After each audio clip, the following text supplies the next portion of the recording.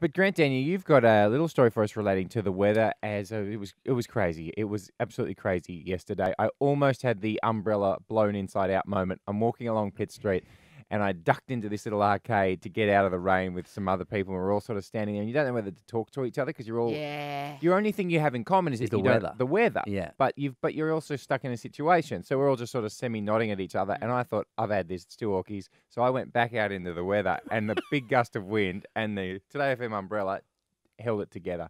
So Oh, congratulations. Yeah. Today No, no, big shout out. There's Shout six out. cents that we're paying in Bangladesh to get these Nice. made. Really is. And Good before we talk weather with Grant, I want to give a shout out to my taxi driver Tommy this morning, Mhm. who is a big fan of Steve Jacobs and was telling me all about him.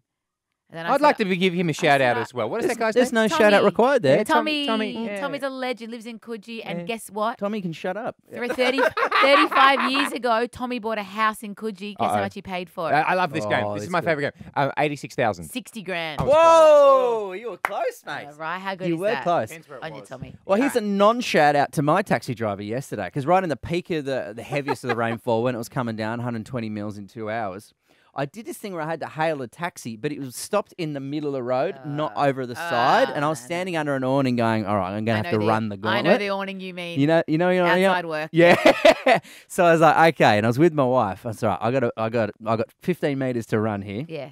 Let's see how wet I get. Oh gosh. So I've bolted to the taxi. Chezzy's got there first. She's grabbed. I said, "You get the front."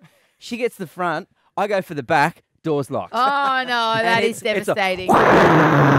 Coming down like that. And I go, "Open the door! Open the door!" And then he starts to panic. So he's like, he's pushing buttons as I'm reefing on the handle. I'm just going, "Let me in!"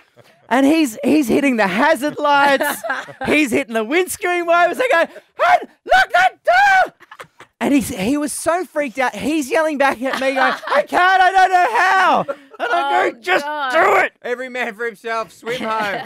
Swim home. did, you, did you get in the taxi or did Chezzy just drive off without I you? eventually got in and I did that thing where I just looked at him and I went, thank you. Yeah, and yeah. shook my head like like I was a oh. shaggy dog. So it just sort of sprayed the inside of the taxi to just let him know how unhappy I was. I was drenched and it took hours to dry.